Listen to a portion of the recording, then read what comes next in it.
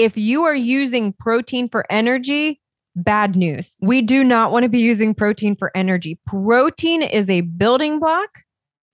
Carbohydrates are a quick energy source. We're using protein to build literally all the tissue in your bodies. Welcome to the Imperfectly Empowered podcast with DIY healthy lifestyle blogger Ahna Fulmer, empowering you to transform your life one imperfect day at a time.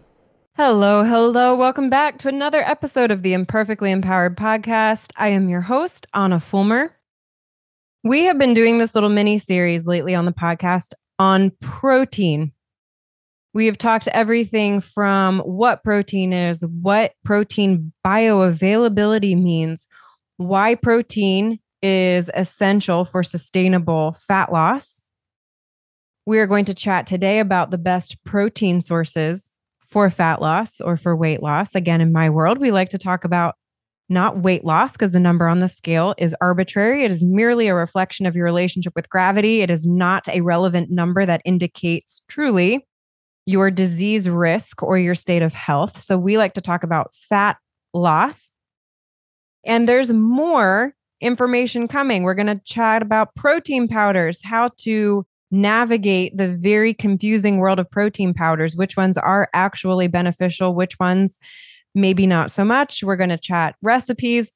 We're doing this whole little mini series on protein, my favorite macronutrient. It is the nutritional key to unlocking sustainable fat loss.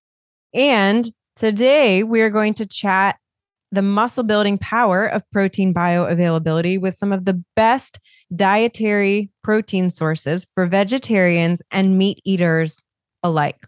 If you did miss my recent post or podcast episode, The Truth About Protein and Weight Loss, be sure to check it out. You can go to Hammers and Hugs, look at it on the blog, or you can certainly search it here in the podcast world or on YouTube. And be sure to check it out or download it for later. We covered why protein was so important for the body, how much protein you should actually be eating in a day, what any of it has to do with fat loss, etc. But one of the key takeaways is that by replacing excess body fat with lean muscle tissue, you lose inches, whittle your waist, and ultimately reduce disease risk. The nutritional key to this fitness goal protein. More specifically, protein sources with high bioavailability for skeletal muscle synthesis, a fancy term for muscle breakdown and repair. If you remember from the previous episode, bioavailability is the overall percentage of nine essential amino acids. Those are the molecules that make up the dietary protein that we consume. Bioavailability is the overall percentage of those nine essential amino acids that are available to the body after said protein rich food has been digested chicken, tofu, milk, fill in the blank. Prioritizing protein with higher bioavailability will best power muscle build, blood sugar regulation, and cellular repair. Not all protein is created equal. I mentioned this previously. What a lot of people don't realize is that animal based protein has a much higher bioavailability than plant based protein. Can you still get enough protein as a vegetarian? Yes, but it does take more intentionality and work. This post, this episode is going to address some of the most frequently asked questions about protein. For those who really want to dive into bioavailability, there are a couple of good resources. I've linked them in the blog post on the website at Hammers and Hugs on the show notes. But just keep in mind, this is a very complex science. There's always caveats to every guide. I am trying to keep it very simple as we chat about bioavailability, but there is much, much more in depth information, certainly. Some frequently asked questions about the best protein sources we're going to run through. What is the best meat with high protein? Meat must be approached with caution. I have said this before. Many high protein meat sources are also high in saturated fat and salt if processed. So, in case you are new around here, it bears repeating that my one nutritional guideline within the home is consuming all natural foods. If it cannot be found without artificial or processed ingredients, then it should not be routinely given a home in your pantry. To learn more about the difference between all natural food and organic food, be sure to listen to the podcast episode I did on whole food nutrition. Does it really make a difference? You can watch it here on YouTube. You can go to the blog post and read the blog on hammersandhugs.com. Lots of ways to check it out. But the reality is, it does make a difference. You need to eliminate artificial and processed foods from your pantry on a routine basis within your home. Meat is no exception to this rule. One massive advantage to prioritizing all natural meat that hasn't been processed is the reduction in salt. Even organic beef has a high amount of saturated fat, though. Remember, organic is not a panacea for health. There's a lot of poisons that are organic that can be found organic. They will still kill you if consumed. So just remember organic is not a panacea for healthy. So, this can be challenging for someone with high cholesterol or a predisposition to heart disease, like we have in our family. The key to meat sources of protein is prioritizing lean protein. If you want the blanket answer to the best meat protein sources, it is meat that offers lean protein. This would include chicken breasts, ground turkey, pork chops, lean ground beef, tuna, mahi mahi, cod. Salmon is really high in healthy fat. So I'm also going to throw this in. This is an excellent meat source of, of protein. Um, but it is high in fat. It's not by definition lean, but it's such healthy fat that salmon is a great, great player in the lineup of meat proteins or animal based protein.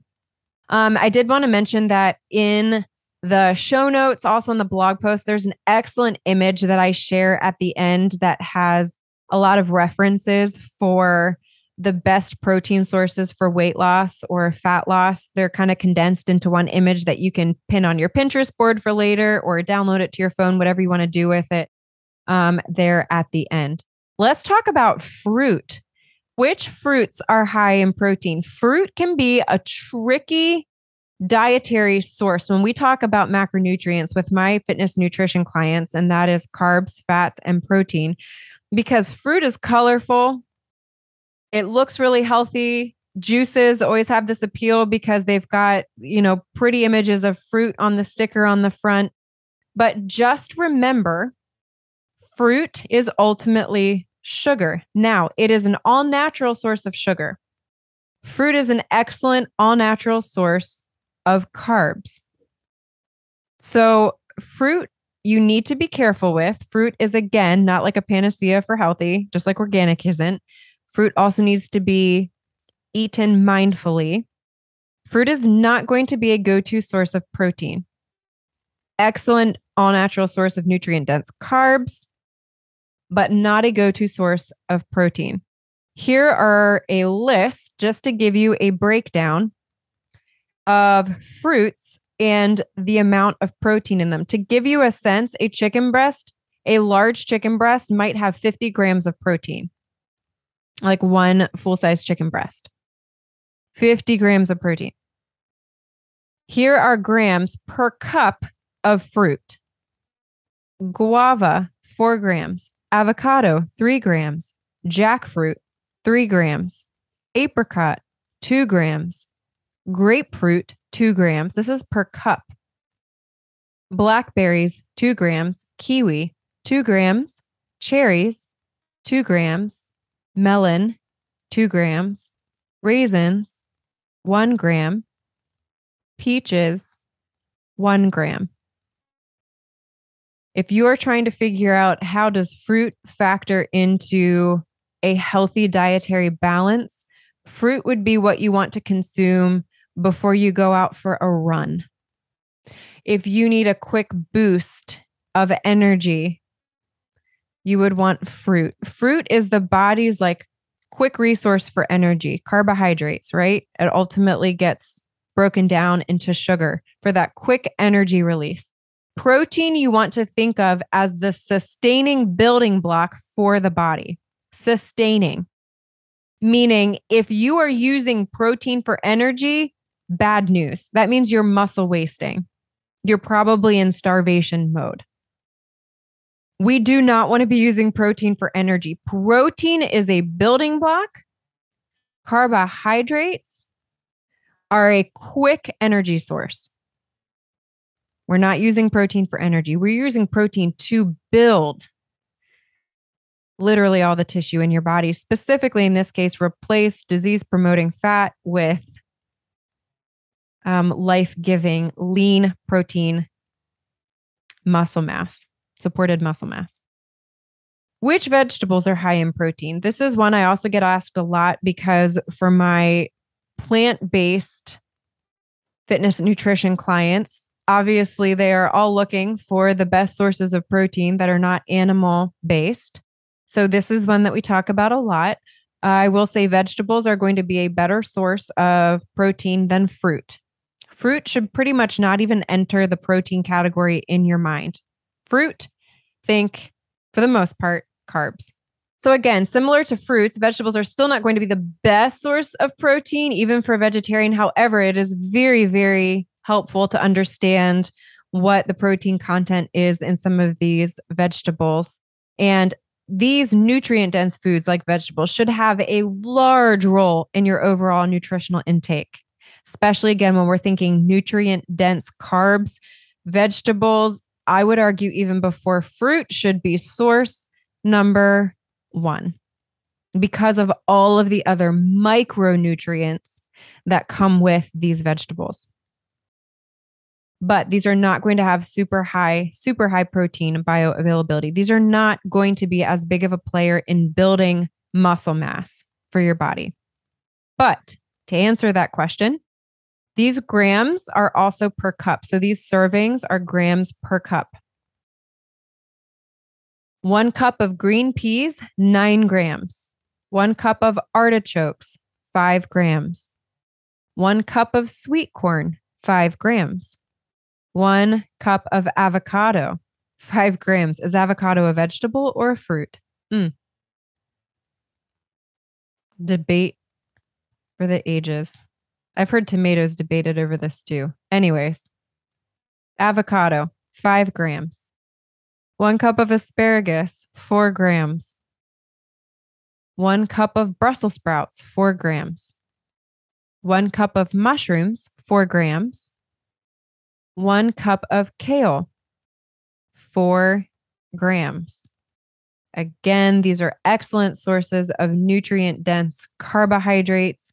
These would be often higher in fiber. When you are wondering which carb should I be reaching for, you should be reaching, generally speaking, for the ones higher in fiber.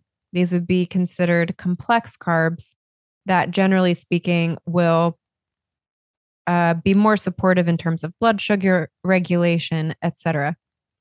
So, carbs that are higher in fiber, vegetables, perfect, perfect go to source. There is some protein, but you probably should not be thinking of these in terms of muscle building. What are then the best protein sources for vegetarians or vegans? A better way to phrase this question this is a popular question. What are the best sources of plant based protein? This might be a better way to ask this question. Again, keeping in mind, animal based protein is going to have a higher bioavailability. But the key to plant based protein is finding complete proteins. Remember those essential amino acids that we talked about. And there are 20 amino acids that make up protein in our body, but 11 of them our body makes while it sleeps. We call these non essential amino acids because we do not need to prioritize them. The body has been fearfully and wonderfully designed and it is making them on its own. But there are nine amino acids that make up the protein in our body that we can only get through dietary sources. We have to eat them in order to optimally thrive. We call these essential amino acids because we must prioritize them. It is essential for us to think of these when we eat because we're going to start eating mindfully, correct? We're going to think about how we're fueling our body. We're not going to deprive our body, we're going to fuel our body. Change your mindset. So, that being said, when we talk about complete proteins, complete proteins have all nine essential amino acids. So, plant based protein, non meat complete proteins would include fish. I did include fish when I was earlier talking about, I should have just said animal based protein earlier, not particularly meat. I apologize for the verbiage there.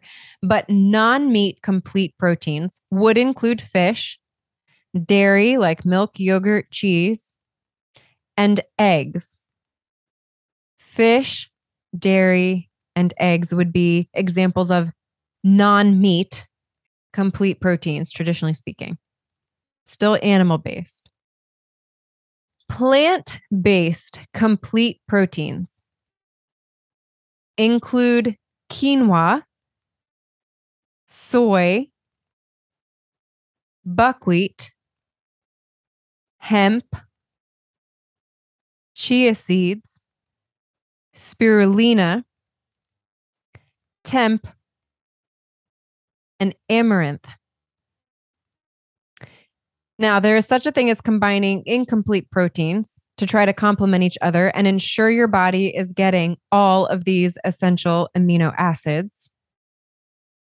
My number one takeaway for you is this, though. If you're a vegetarian or vegan, be careful that your protein consumption is not only adequate, but accounts for the correct amount of carbs.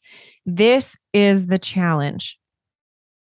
It's one of the reasons I have seen so many overweight, diabetic, vegetarians, and vegans in my medical career is because more often than not, there's too little protein and too many carbs. Or maybe they're getting enough protein, but the protein choices that they're making are also very, very high in carbs, which again ultimately gets converted into sugar for the body to use. Protein is essential for helping the body to stabilize blood sugar. We're going to chat a little bit more about some plant based protein amounts.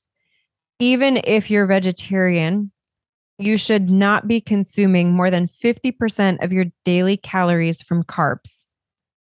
Even if you're a vegetarian, you should not be consuming more than 50% of your daily calories from carbs for a well balanced macronutrient plan.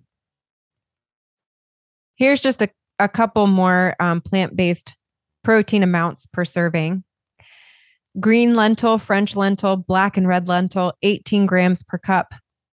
Hemp seeds, 16 grams per three tablespoons. Beans, 12 to 15 grams per cup. Quinoa, 11 grams per cup. Tofu, four, or sorry, tofu, 10 grams per four ounces. I just want to make a side note, y'all. By the way, I I do not like tofu. I have tried it. I don't like it. But I also recognize if you're a plant-based eater, this is a great way to get um, your protein. So I have included a great resource on the website how to cook with tofu. I thought this was an excellent article giving great ideas if you would like to incorporate tofu into your diet, some um, recommendations on how to cook with it and hopefully enjoy it. Because that's the goal. Food was meant to be enjoyed. Nutritional yeast, eight grams per two tablespoons. Almonds, six grams per quarter cup. Oatmeal, six grams per cup. Pumpkin seeds, five grams per two tablespoons. Chia seeds, four grams per two tablespoons flax, four grams per two tablespoons. I apologize. I know that list, the servings were a little over the all over the place, but I tried to give you realistic servings, right? Probably aren't too many people are going to eat a cup of pumpkin seeds. So those were uh, protein amounts based on a serving size that is actually reasonable. Um, I did include a link to another article that has a great breakdown of a lot of those foods for plant based diets, what they are, how to cook them, you know, like nutritional yeast. How many of you know what nutritional yeast is? For example, So, eh, you know, again, if you are if you are consuming a plant-based diet, you do need to be more intentional. It is possible to consume enough protein, but it will take more work, but it is worth it because getting the right amount of protein from the right sources could make all of the difference for your overall health. So make sure you understand the protein that you're eating, whether you're an animal based diet or you're a plant based diet. Another frequently asked question about protein, and I mentioned this, is which protein powders are the best? Especially if you are part of a nutritional program where we are increasing your overall nutritional intake of protein. For example, my clients, as I mentioned in the last podcast episode, the general dietary recommendation is only 11%, I believe, of a 2000 calorie a day diet. In my program, for example, we bump you up to 25%. It takes work. You have to really start thinking about what you're consuming, but it makes all the difference. The results speak for themselves. And again, I will reiterate this this is not unique to the Faster Way to Fat Loss, the program that I coach for. Um, eh, this is common for a lot of nutrition programs because we recognize the essential essential role that protein plays, especially when combined with muscle building, cardio, and strength training exercise. It is essential to replace that disease promoting fat um, with life giving, muscle building, lean protein. We want to get rid of that disease promoting fat and build lean muscle. So, we often have to supplement with protein powder. I don't know about you, but it is an overwhelming aisle to walk down, whether you're walking down the aisle virtually or in a store. Our market has been saturated with workout supplements claiming to be the best, to get you lean and ripped. So, how do you know which are legit? Which ones should you prioritize? Stay tuned because the next episode that I'm going to chat about is all about protein powders. We are going to take a deep dive into powders, what you should be looking at on the nutritional label. And we're going to keep it simple because I want to help you cut through the clutter and get your bang for your buck. Be sure to tune in next time when we talk about those protein powders. And remember, we want to see food as fuel. Food was meant to be enjoyed. Start consuming mindfully. Hey guys, Ahna here. If you found this video helpful, then you do not want to miss this video right here beside me on the screen. Click on it. I know you're going to enjoy it. You guys remember, you cannot be redefined, only redeveloped one imperfect day at a time. Your story matters, and you are loved.